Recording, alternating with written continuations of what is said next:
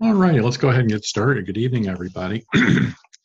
um, today on the church calendar is the observance of Alexander Crummell, um, who was an African American uh, who sought ordained ministry and uh, experienced racism throughout his life. He uh, was denied admittance to General Seminary in the 19th century early and um, ended up uh, getting ordained in Massachusetts and um, struggled the whole time with uh, life in this uh, part of the world. Went to Liberia uh, to encourage uh, um, um, American African Americans to go back to to Liberia, and uh, and then came back here. And he ended up dying in Red Bank, New Jersey, uh, after. a ministry of consciousness raising and ministry of the gospel. He was an evangelist and preacher, and so we celebrate him and honor him today. Here's the collect. Let us pray.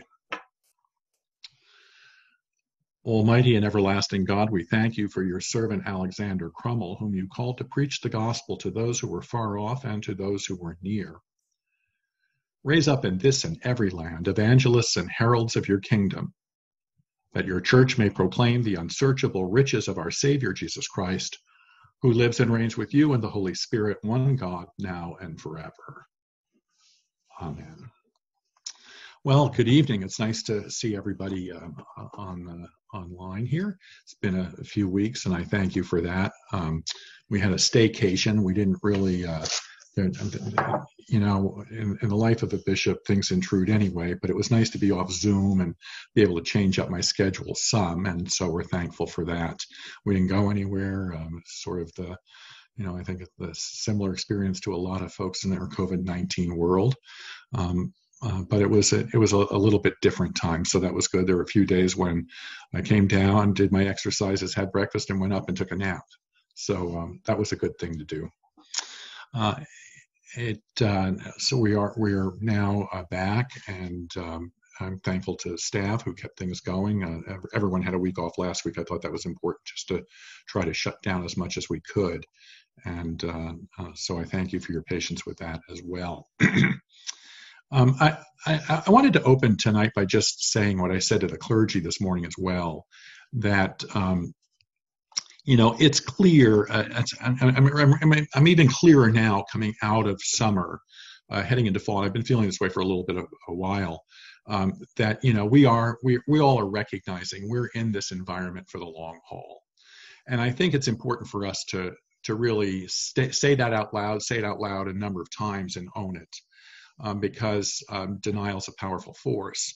When COVID 19 first started uh, in early March, I think most of us sort of felt, well, you know, we'll endure this and uh, get over it and then get back to normal.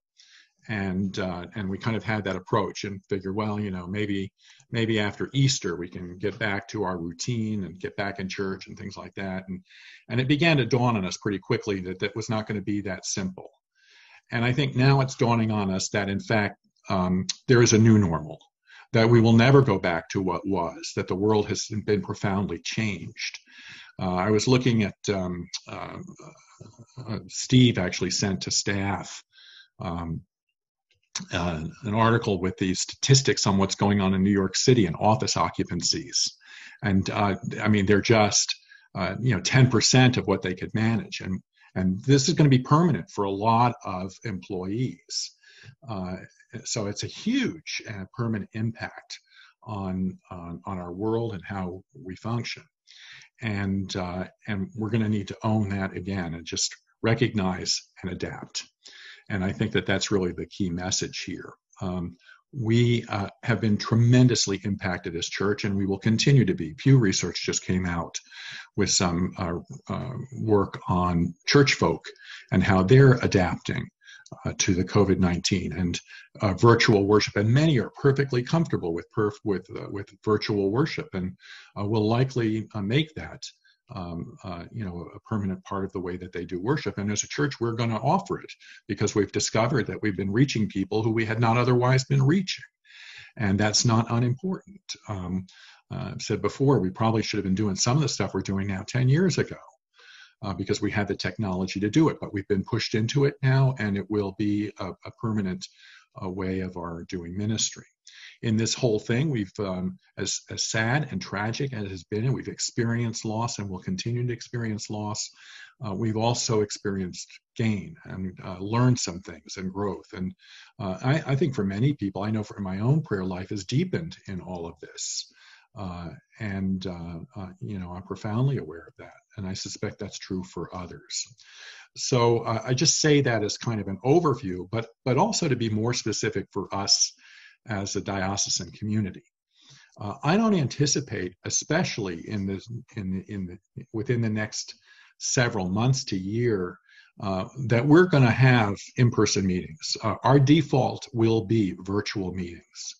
Uh, we uh, making an, a face-to-face, person-to-person meeting uh, at this juncture to me makes no sense whatsoever, unless it's absolutely necessary uh, because the risks are still high. And we are, uh, you know, we are, I'm fearful that we are entering the fall and that uh, as people go indoors, the threat will increase again of, uh, of the pandemic, of people becoming ill.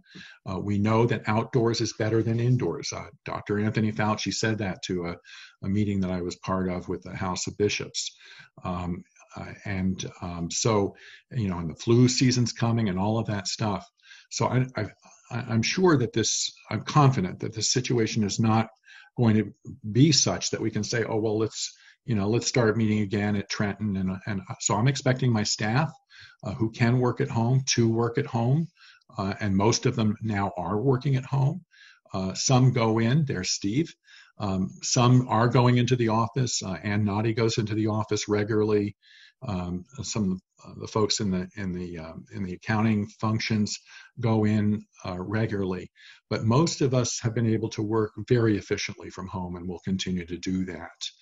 And so, um, so I wanted to make that statement as well about how we're going to proceed uh, as a diocese. Um, and uh, and I want to encourage, uh, you know, the churches are reopening, and uh, and and we've gotten, I think, I, don't know what the count is right now, but it's, uh, you know, I think we've got more than 120 plans uh, that have been uh, submitted, and most have been approved. I'm a little behind right now because of my time off, uh, but I'll catch up with that quickly.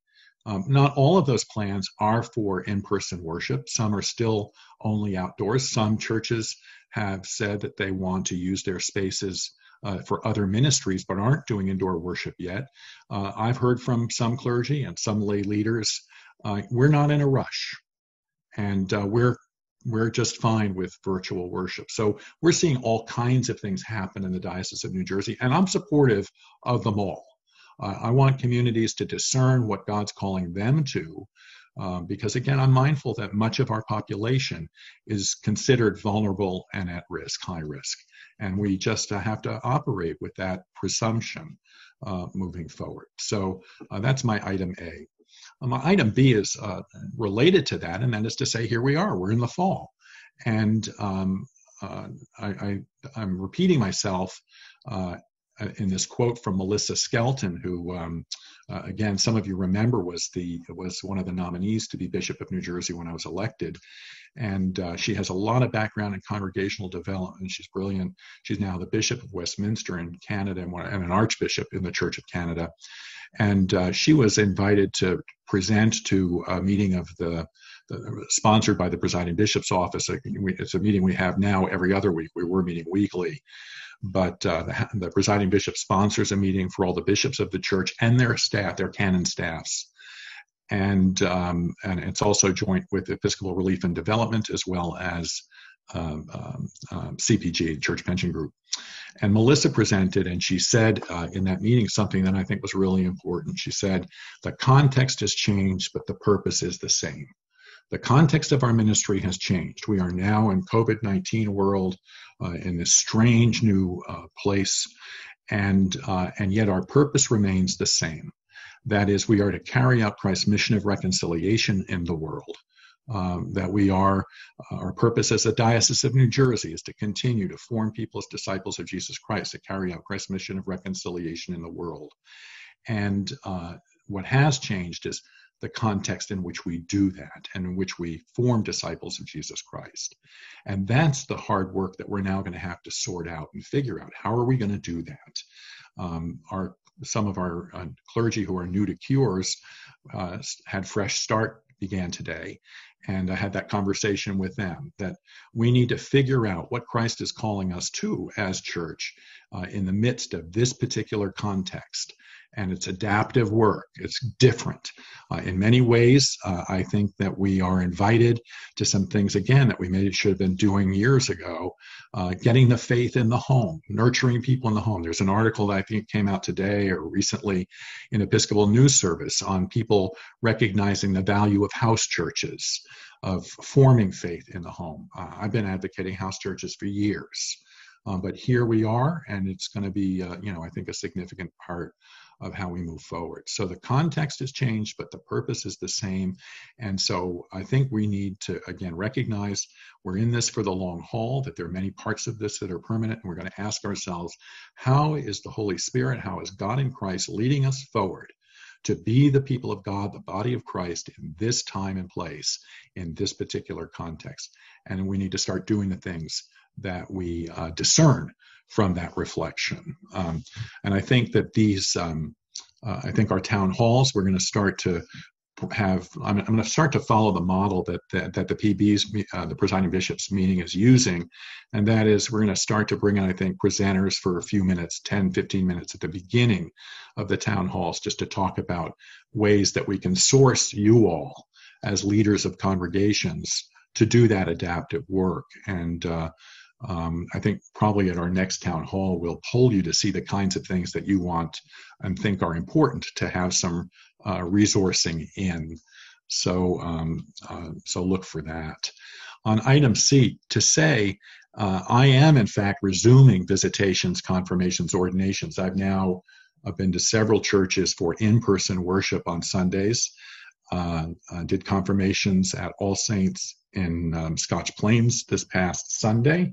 I'm going to be doing two ordinations, one uh, after the other, back to back ordinations at St. John's in Elizabeth this coming uh, Saturday.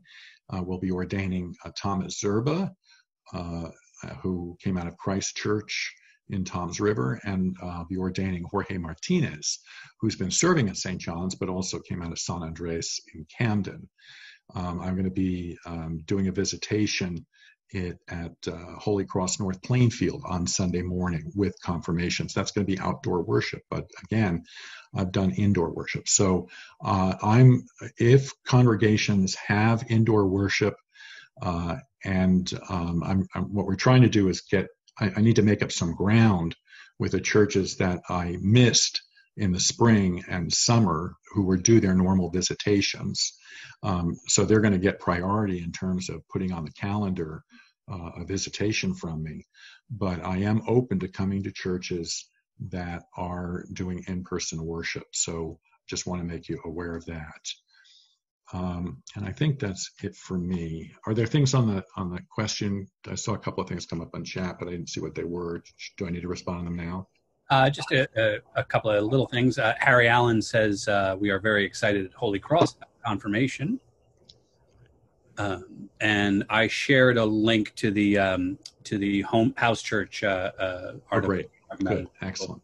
News service, uh, and then I just had one little quibble with you, Bishop. On yeah. Um, I very much prefer the term online worship to virtual worship because. Thank you. I, that's a, that's a good quibble. Yeah. Yeah. Thank you for that. Uh, but I but I saw in that in that article on uh, Episcopal News Service they call it virtual worship. yeah, it's, it's, not. It's real worship. Right. Yeah. I agree with you. Thank you. Call um, me on this. Yeah, but that's everything I see. Great. Thank you, sir. All righty. Um, the task force has been working really hard. Dr. Phil Lewis, you're on, and I will stop sharing my screen so that you can share yours. Okay, super. Thank you, Bishop. Let's see if I can uh, I can't find it. Okay.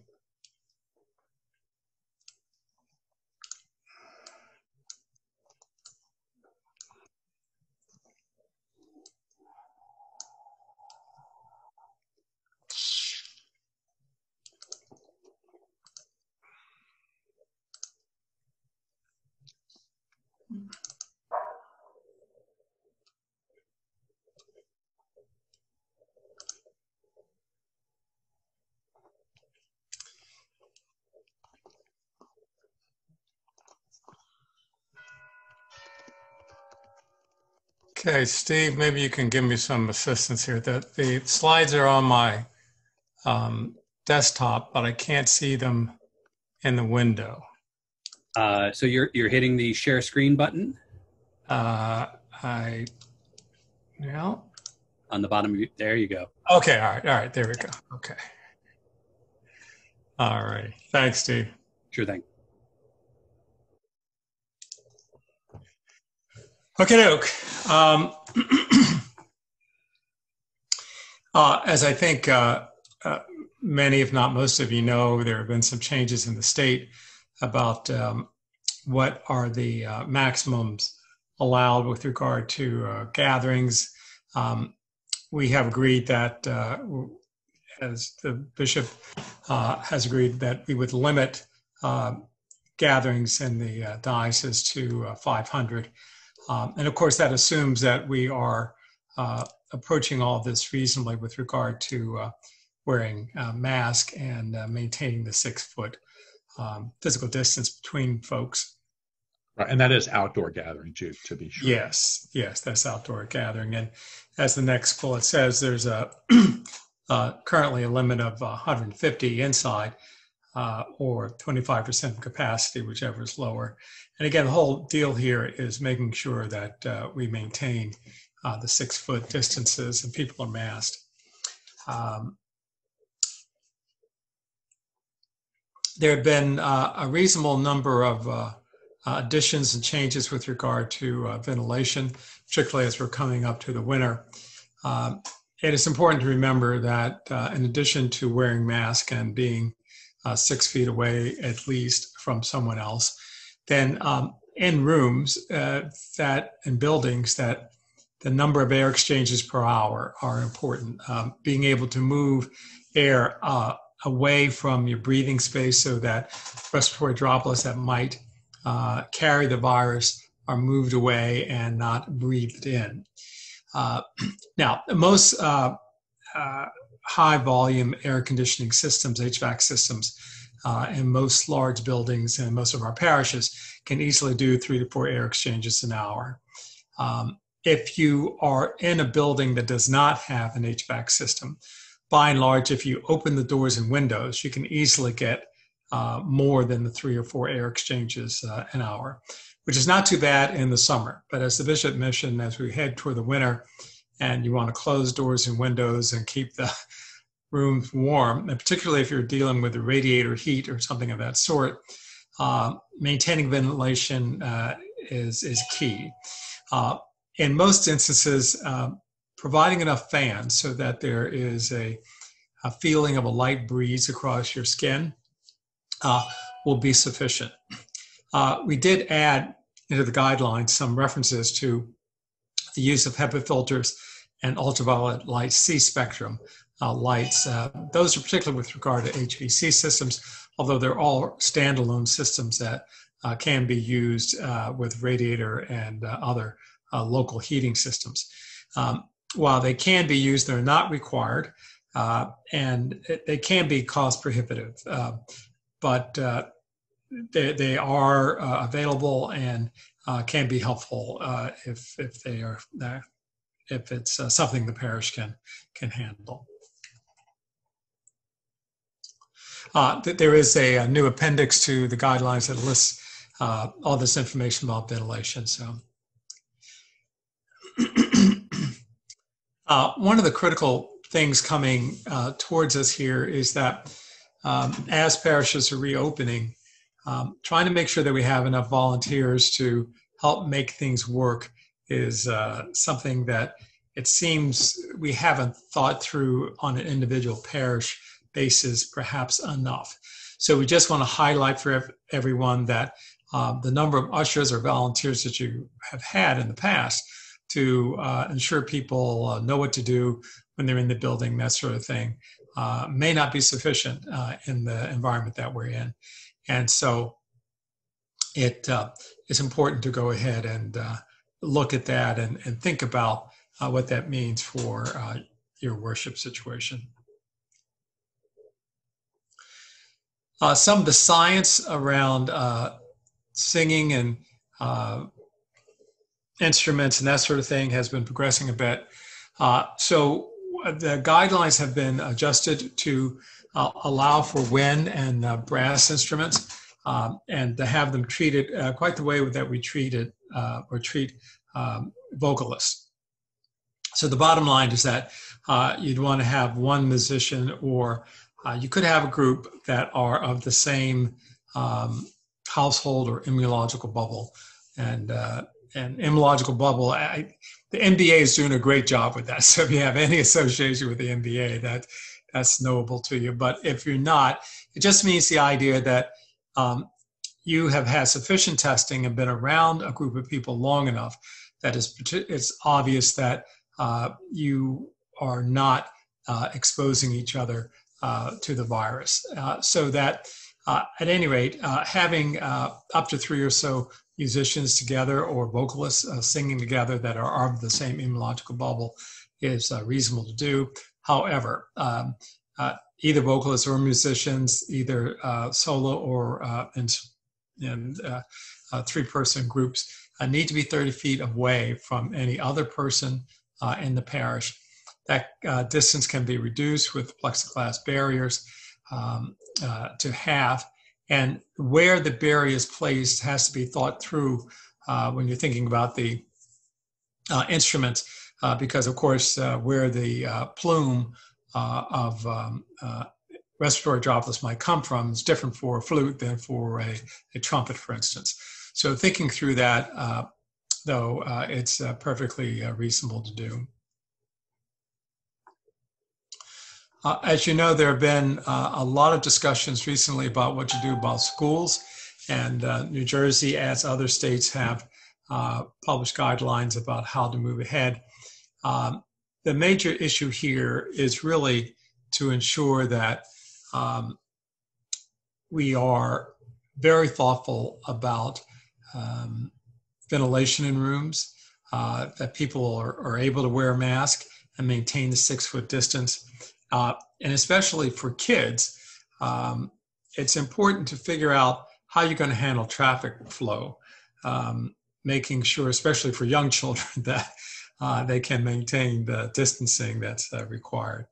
And also, of course, we don't want uh, materials uh, shared between uh, children. given that um, the state has moved to allowing indoor dining, uh, we are moving ahead with uh, allowing for uh, coffee hour and fellowship activities.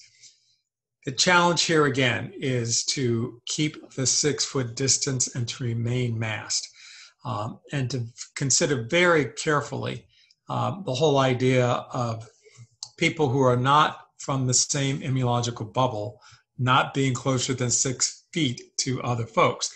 And that can easily be um, forgotten when people are trying to sit at a table together. Uh, but other than that, uh, it's uh, reasonable to move ahead. Uh, this whole idea that there are a lot of things that are now available does not mean that uh, people really have to do all of that, right? Uh, it's important that parishes, clergy, vestry, everyone in the parish feel comfortable with what's going on uh, and not feel like they have to move ahead and do everything uh, that's uh, that's available. One of the issues is that um, as uh, parishes are sending in plans, um, a critical problem has been not providing enough information about measurements, uh, about how uh, groups are going to sit and or be properly distanced.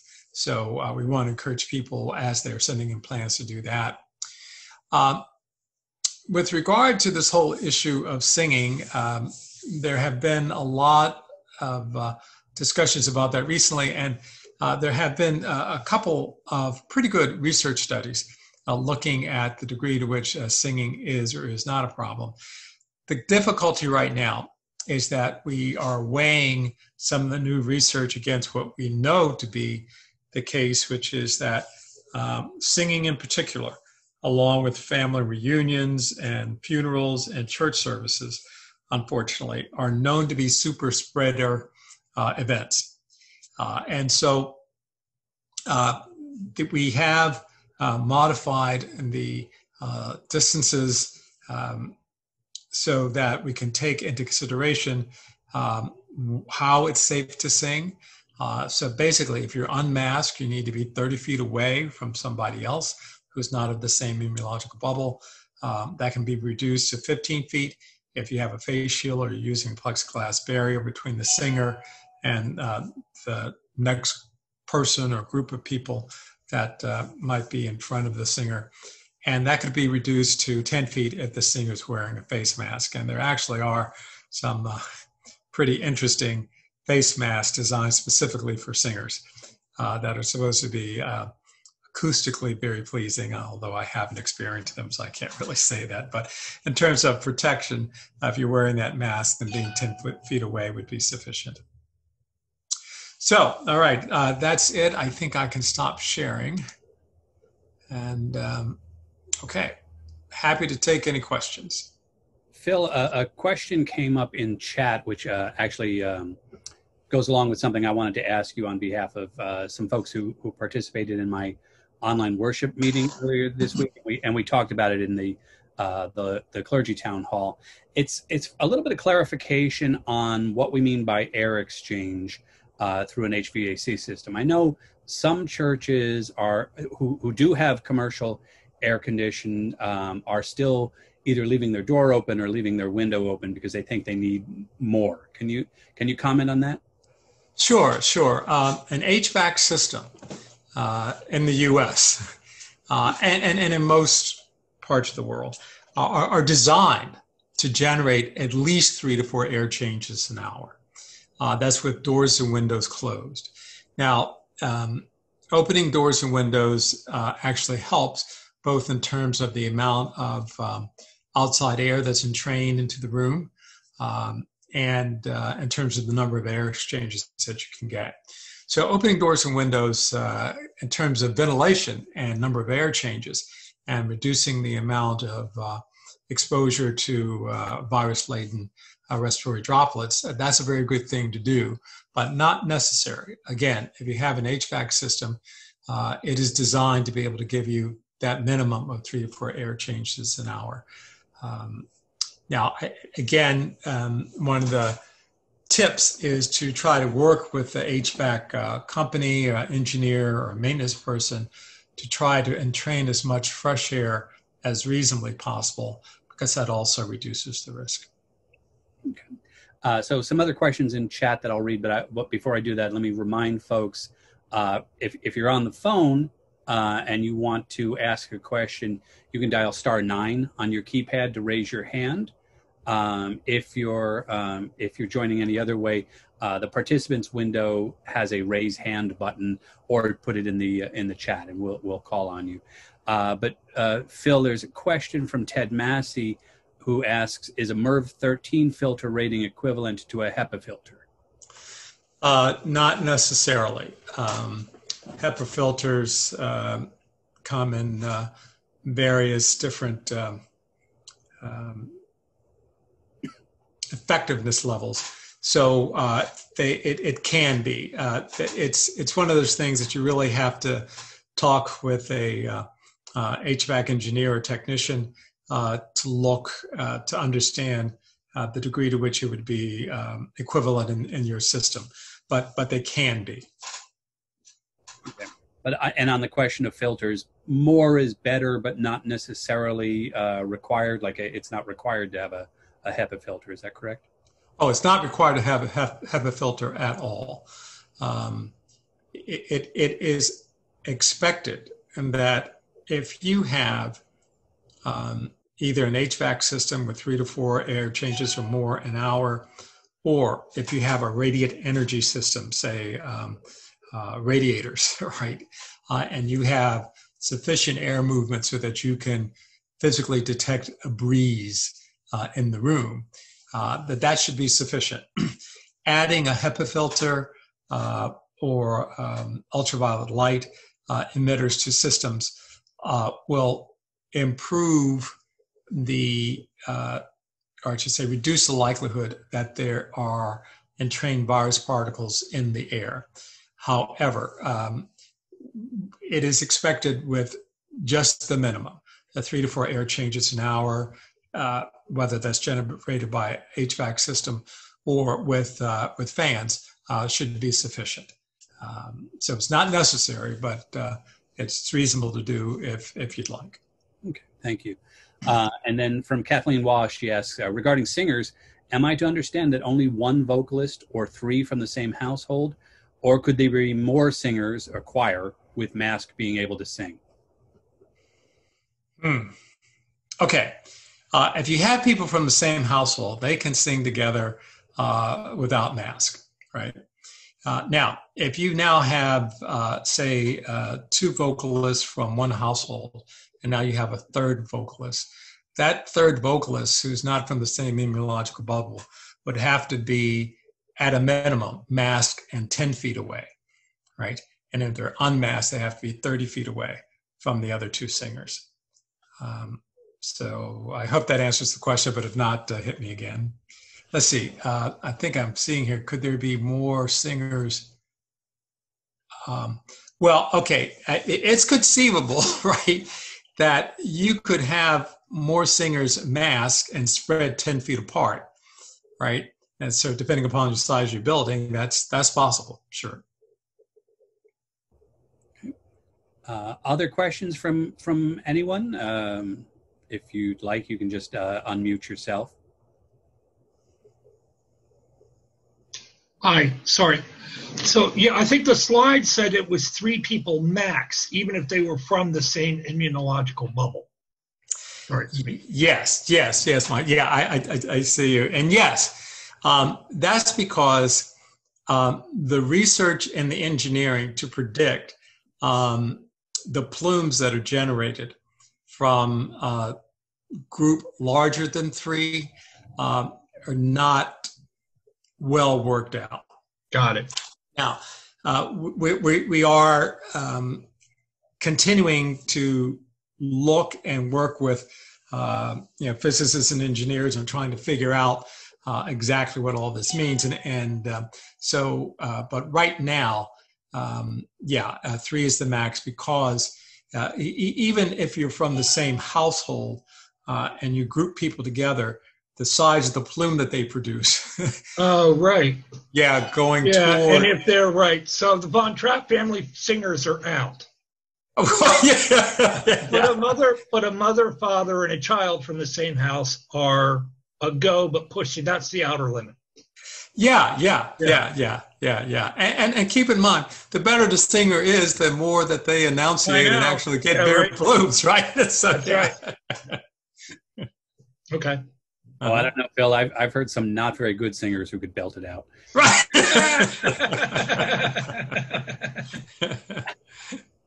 Sorry. Um, okay. Other other questions, or are we uh, ready to move on? Let's go ahead and move on, and we'll you know uh, when we get to the open forum, if there are more questions for Phil, great, we'll do that. Um, but I want to give others, uh, like Mary, Mary, Mary Testori. I'm ready. How are you, Bishop? well. How are you? Fine. Uh, the Learning and Breakthrough uh, Task Force presented our uh, presentation last week, which covered the five areas of ministry, and it basically spelled out phase one, uh, the collection and reflection part of the questionnaire. Uh, clergy has asked for a longer return time in order to include more people in the congregation to take part in the questionnaire. And we're still working on turning this on. Uh, this is this uh, questionnaire to an online form and getting the cover materials together to go out with the questionnaire. So that's where we are. Great. Thank you, ma'am. Good. Welcome. All righty. Uh, Phyllis Jones, uh, everyone, I think most of you knew Phyllis just underwent uh, hip replacement surgery actually a week ago today.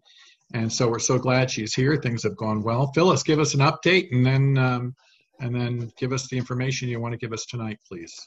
Yeah, great. Thank you. Yes, it's um, as I mentioned, especially this morning with the clergy town hall. Um, when a week ago at that particular time, I literally was in the operating room, and it was just kind of miraculous to me to think that it was that you know that week ago, and and the amazing things that uh, that surgeons do with things like this these days. Um, they had me up and around the same day. They had me home the next day, and then um, the rehab for this is just pretty much to um, you know to walk as much as I can tolerate. And uh, so between um, the walker that I have that I use for outside just to get a little bit of extra stability, and the cane that I use when I'm wandering around the house here, um, I've been trying to you know balance that out and you know figure out what the appropriate balance for that is and anybody who knows me knows me well enough to know what a challenge that is for me. So uh, trying to uh, make sure that i don't do too much. Yesterday was my um, my first day completely off the pain meds and i did do a little bit too much yesterday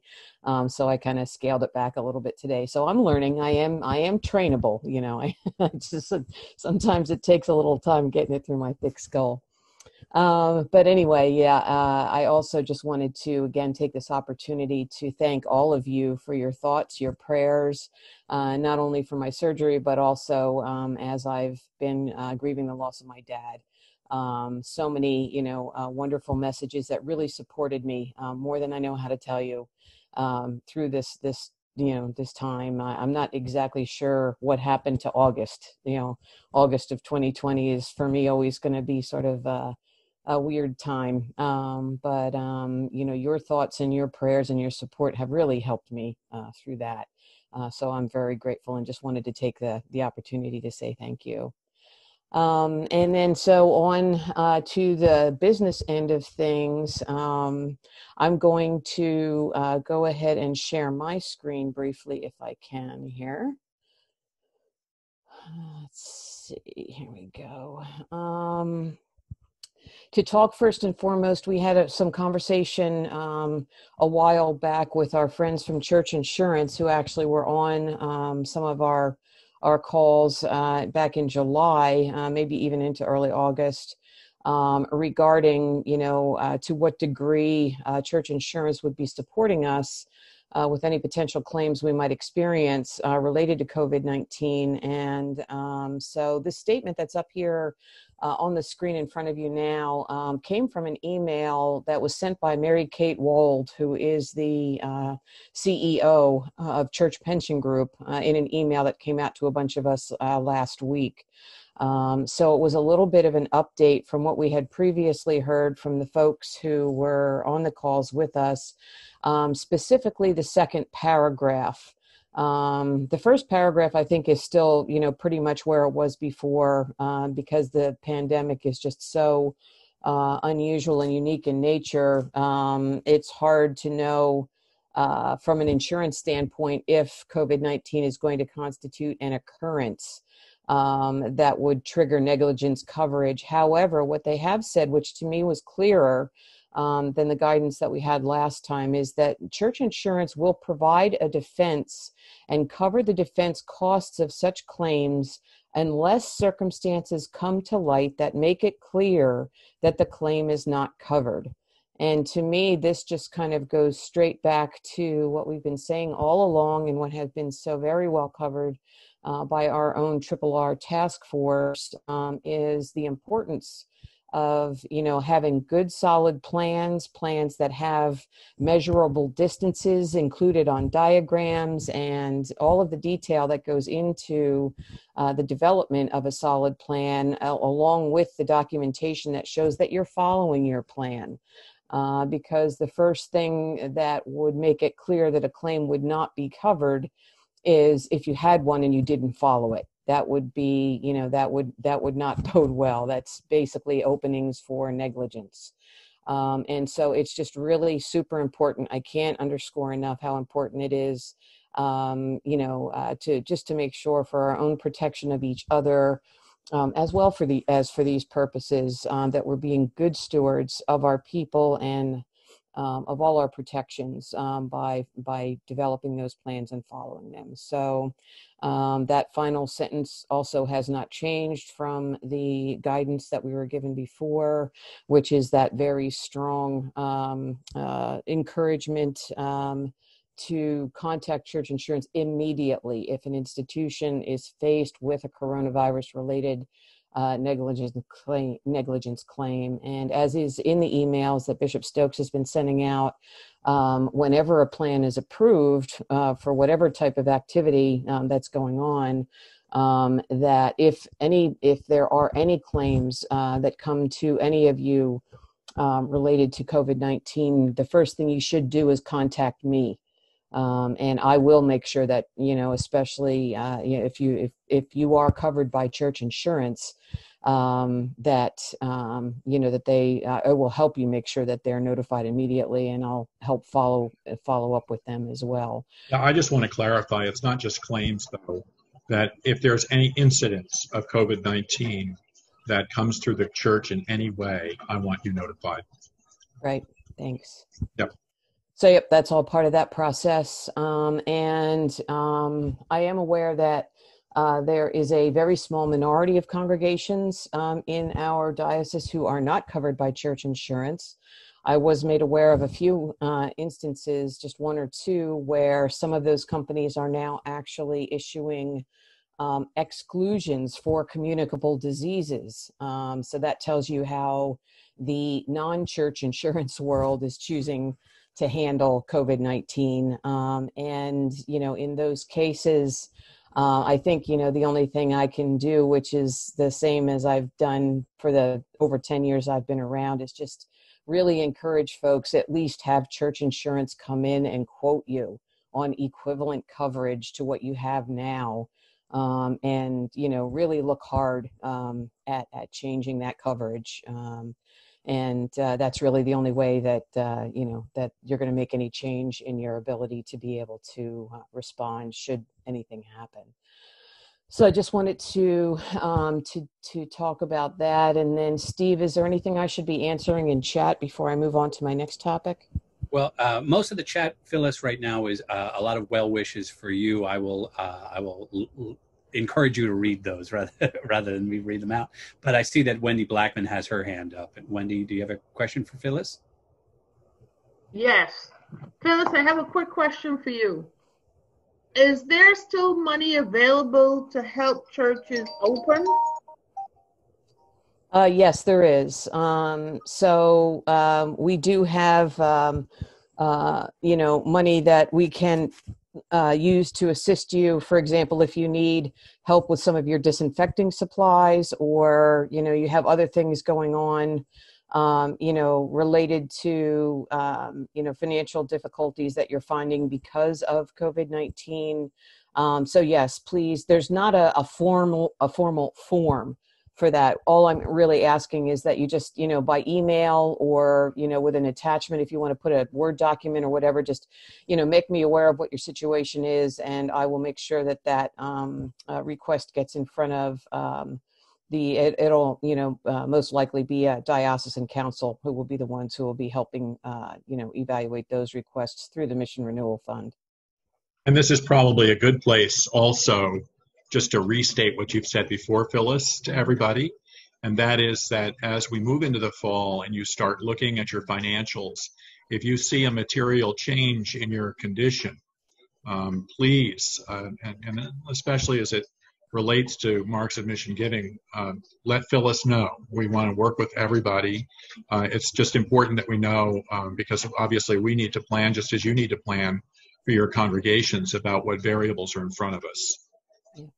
One of the things that you'll see coming out um, in the next couple of weeks, just as we do this time every fall, um, is the Marks of Mission Giving uh, letter that goes out, um, which will have the calculation um, for the Marks of Mission Giving for 2021 on it. And I've already fielded, um, as Bishop Stokes mentioned, a couple of you know uh, questions on this. So it's good. I think. Thanks for the reminder that we can just talk about it now. That um, you know, we have our the um, requests that we make. The formula that we use is canonical.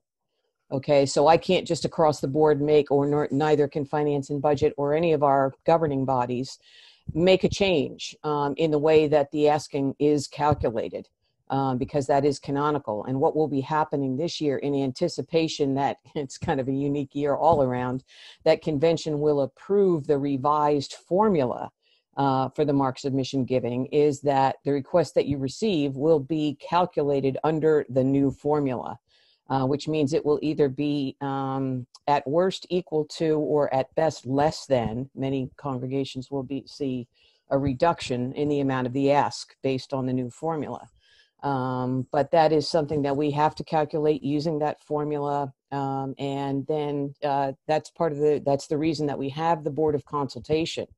Uh, because having moved to a mandatory system, that is the um, the place that we would go for an adjustment. So that that part of the process hasn't changed. If anything, it's probably become even more important.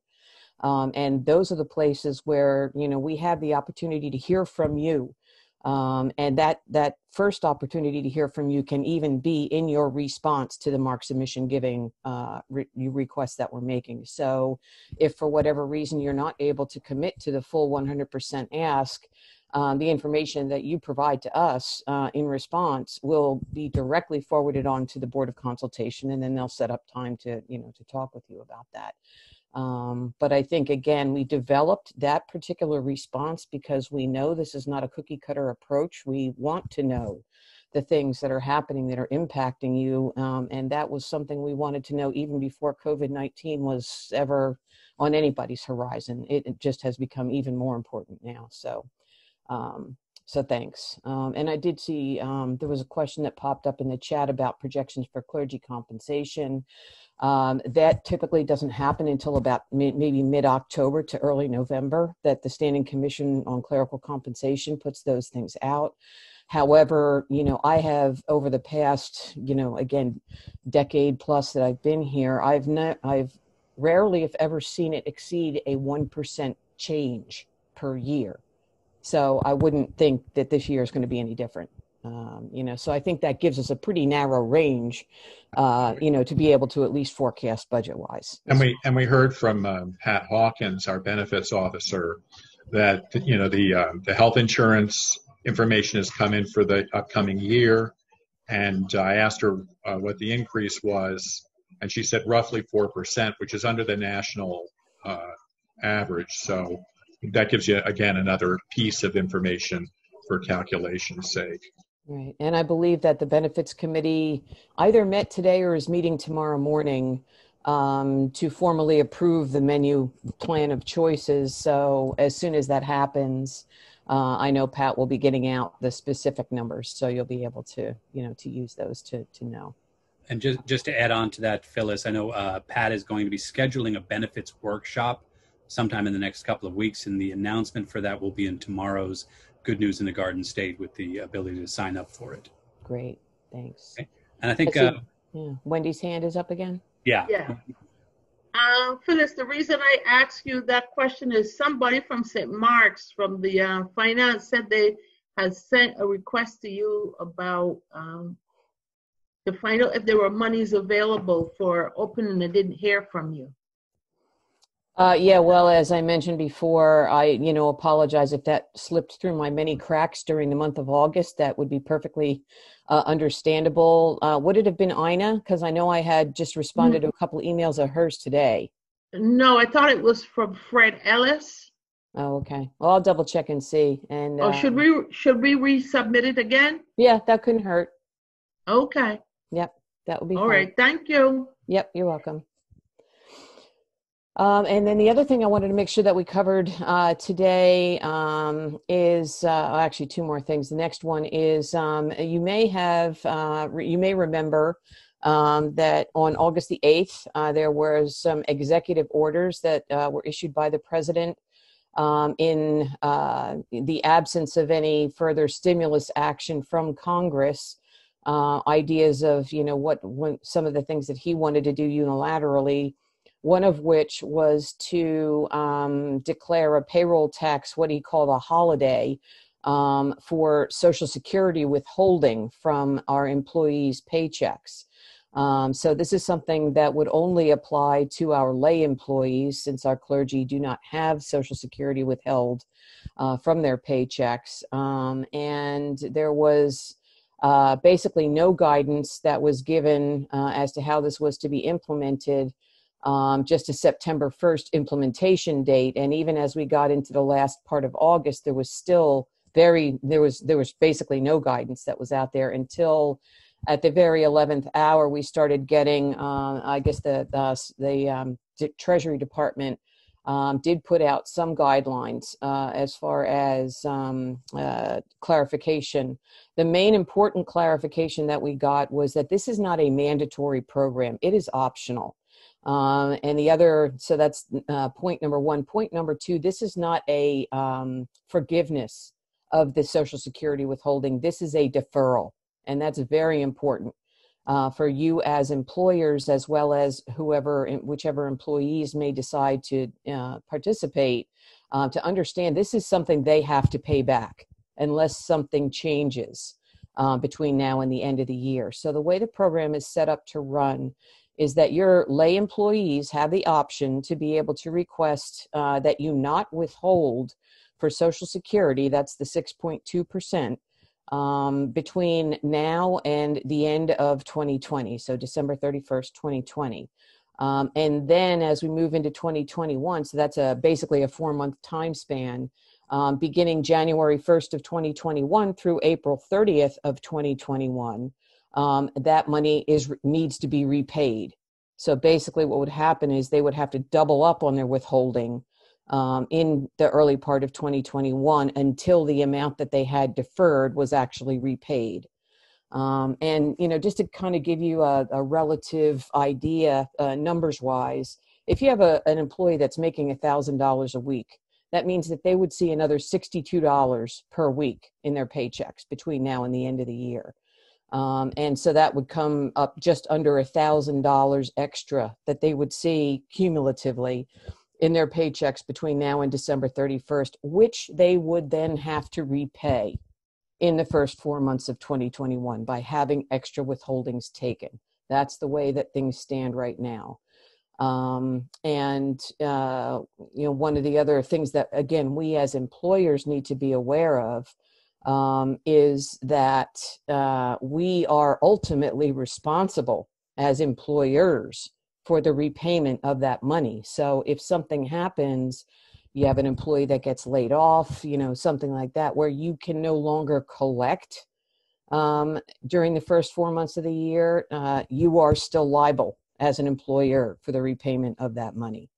So for the extra, you know, uh, fairly minimal amount, um, you know, uh, that is being realized uh, by most of our lay employees, um, a lot of what I've been hearing back so far is that they're choosing not to participate in the program. It's just too much trouble. It's more trouble than it's worth. Um, and uh, they don't want to have to be on the hook for repaying it. Um, in next year, who knows what's going to happen next year? so, uh, but it is an option for them. So, what I um, am uh, doing is I'm just developing for diocesan staff, and I'll share this, you know, with um, my uh, list of folks who participate on our financial resourcing uh, calls and our uh, stewardship calls uh, is sort of a, a, draft letter, a draft communication to our own diocesan staff who would qualify for this. Um, just basically making them aware that the option is out there. It is their choice. If they say that they want to have this, then I'm obligated uh, to make it available to them. And if they want it, I'll do that. Um, but then they can you know they have to let me know for sure if they want it or not and it's my opportunity to make sure that they're very well aware that they have to repay it unless something changes so um, are there any questions on that not seeing anything phyllis Okie doke. Then, um, last but not least, and I cannot believe I forgot to say this this morning at the clergy town hall. So I am going to count on all of you guys to make sure that your clergy uh, are aware of this and make sure that it gets broadcast uh, you know, throughout the congregations. Um, we have three uh, pre-convention hearings coming up, and I know that sounds like really weird. Pre-convention hearings, oh my gosh! Um, but we uh, we do have a uh, diocesan budget that has been recast. We're going to be posting that on the website soon um, and uh, you know there will be uh, uh, probably some new uh, nominations for offices things that you know we would as well as reminders on the uh, canonical uh, changes and the resolutions that are up for voting at this year's convention, since it is a virtual convention. Um, and it's going to be, you know, all of the voting is going to be entirely virtual. We're going to be doing a lot of, you know, uh, things for the first time this year. We are going to be doing bare bones business at our convention, and we need to make sure, to the best extent we possibly can, um, that are that we're as prepared as possible going in. Um, so our pre-convention hearings are going to be on Monday, October the 26th. Um, we're going to have one at one o'clock in the afternoon. These are virtual, okay? Um, and so this isn't by obviously by convocation anymore. It doesn't need to be. This is another thing that I think is actually going to be a, a you know a benefit for us uh, as we move forward. Um, that we don't have to do things by convocation. It's going to be virtual. Um, so on Monday, October the 26th, there's going to be one of them at one in the afternoon and one of them at seven in the evening. And then on Thursday, October the 29th, we're going to have another one in the evening, 7 p.m. in the evening. So those three uh, times for the pre-convention hearings um, I'd like you to just make note of, mark down on your calendars, and please do uh, make sure that your clergy uh, are aware and that that uh, information gets really well circulated. Um, you know, uh, especially through to your um, uh, to your your uh, deputies, your delegates to the to the convention. Um, and that's all I got. Great, thank you, Phyllis. Mm-hmm. Okay, uh, let's just open it up. Does anyone have any questions, insights, concerns you want to share? Phyllis, can you repeat the first two dates for the pre-convention, please? Yeah, the first date is Monday, October the 26th. Uh-huh. One meeting at one in the afternoon and another one at seven in the evening. Okay, thank you. You're welcome. And on one other scheduling note, I almost forgot to mention this too. Now that we're moving back into the fall, um, we have uh, made uh, made our schedule uh, for our financial resourcing meetings and our stewardship uh, and sustainability uh, meetings uh, alternating now biweekly. So um, just to kind of catch everybody up on where we are in that sequence right now, next week uh, will be the stewardship uh, stability and sustainability meetings um, they will that's the one one happens on tuesday evening at 7 the other happens at, on wednesday morning at 10 um, and uh, then the following week monday the 21st will be the next round of financial resourcing meetings where we go through some of the things like the cash flow projections and uh, you know uh, how they tie into uh, some of the things that are happening with the stewardship stability and sustainability. Um, you know, again, we've uh, had some really wonderful sharing in those meetings. I personally have, you know, again, found them to be a wonderful way to get to know a lot of the financial folks um, who are working uh, in our congregations a lot better. Um, and we, uh, you know, so I really would encourage everybody to continue um, with their participation in those meetings, especially as we go into stewardship uh, season in the fall. Um, uh, and I guess if I can take just you know maybe a couple more minutes, I just um, for the stewardship we this year uh, are going to do something a little bit different um, than we've done in the past. Is that we are going to have a designated diocesan stewardship Sunday. Uh, that's going to be on October the 18th. Um, and for that particular Sunday, uh, Bishop Stokes is going to uh, record a stewardship sermon based on the um, the gospel reading uh, for for that particular week. Um, I believe it's the render under under Caesar. Yep, yes, it is. so, uh, so we'll have that going on, and again, it's a way for us to really recognize all across our diocese um, that um, you know we're we're really celebrating stewardship uh, together uh, as an entire group. That doesn't mean you have to do your ingathering on that Sunday. Um, I, am well aware uh, that a lot of our congregations have their own schedules for their their stewardship seasons and how they conduct them. So my encouragement to you is just to see how this fits into your particular schedule. Maybe it's the Sunday where you launch your stewardship season. Maybe it's in the middle of your stewardship season. Maybe it is your in gathering Sunday. Um, but just an opportunity for all of us to be participating together, knowing that everybody across our diocese is doing the same thing. Good. Other questions, concerns? I, I want to remind people I do have a Bible study on Wednesday night. It's been really a lot of fun for me to do, um, and you're always welcome to jump in on it. It's well, I'm always going to look at the gospel reading for the week upcoming, and so um, that's Wednesday evenings at seven o'clock. Love to have you be part of that. Anything else for the good of the order? All righty. And the Bible study is with Brian Jamet. So he and I are taking turns uh, offering that. And so I think it's nice to have that uh, dual perspective. I'm grateful to Brian for his willingness to do that with me. It's just great. It's fun. And I did just put the registration link into chat. For- great. Thank you for that. All righty. Well, let's, without further ado, let's go to Compline.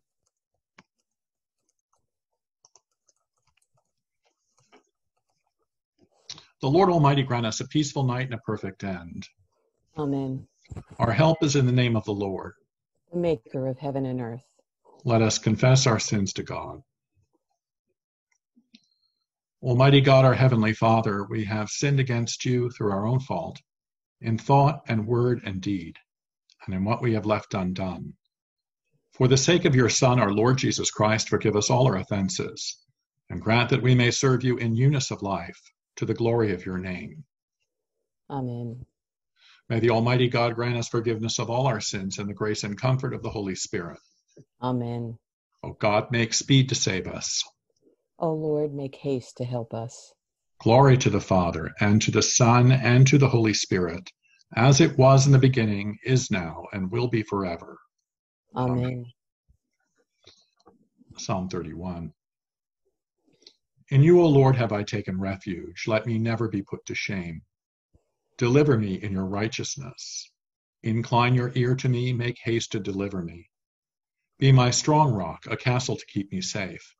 For you are my crag and my stronghold.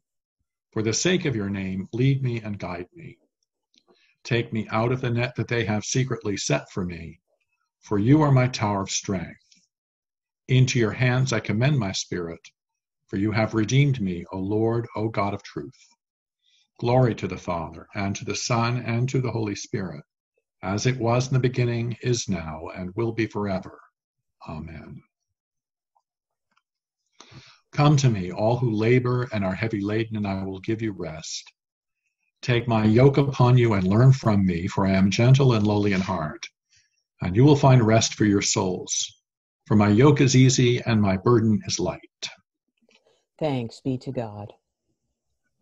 Into your hands, O Lord, I commend my spirit. For you have redeemed me, O Lord, O God of truth. Thus, O Lord, is the apple of your eye. Hide us under the shadow of your wings. Lord, have mercy. Christ, have mercy. Lord, have mercy.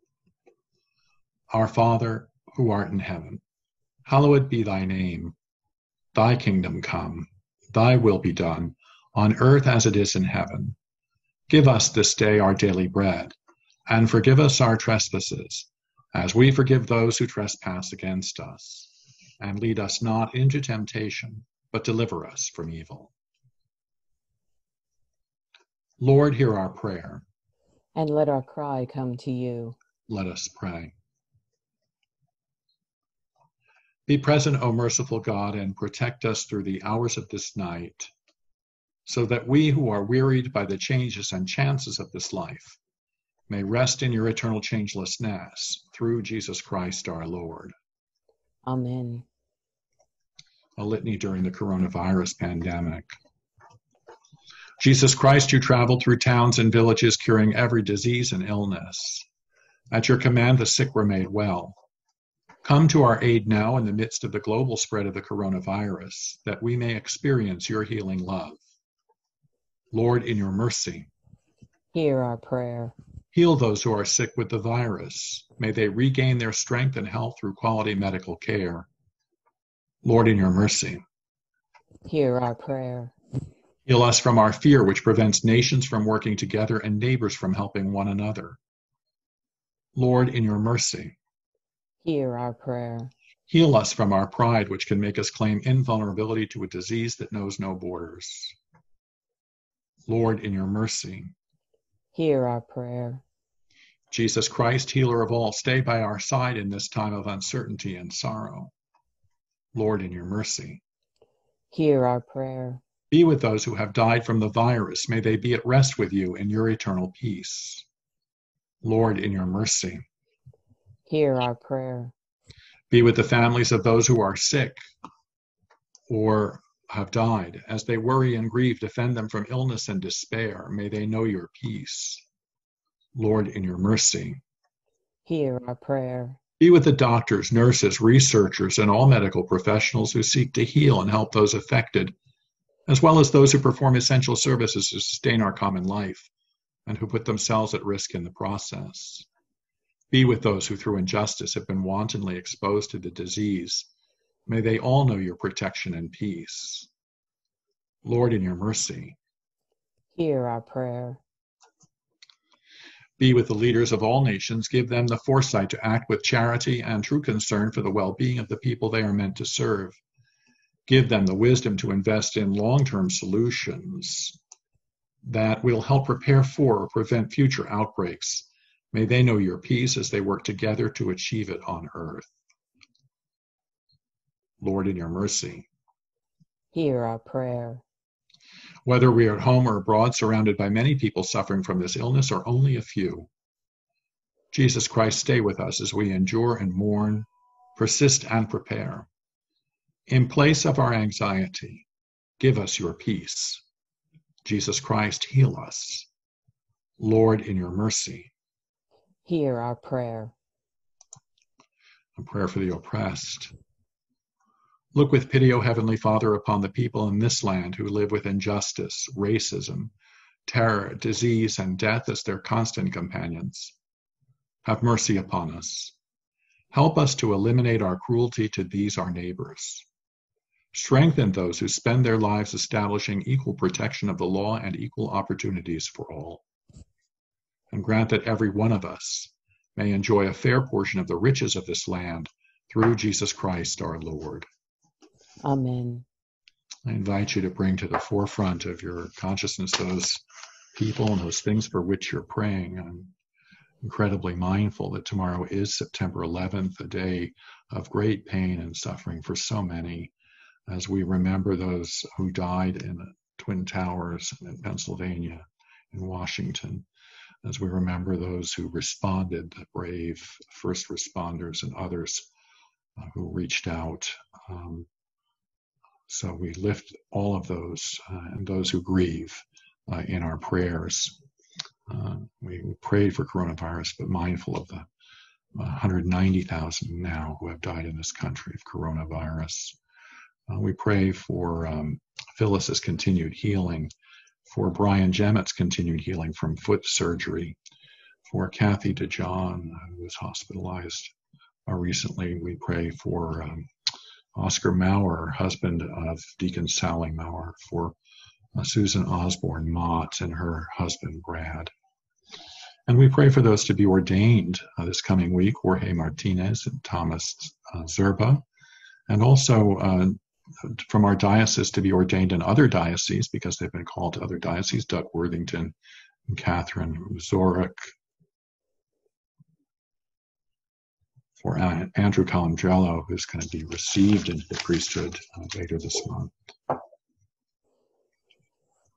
We pray also for the victims of the wildfires in the West and also for the first responders working so hard uh, to try to contain just an impossible situation. We just ask for your protection uh, and your safety for so many who are in harm's way.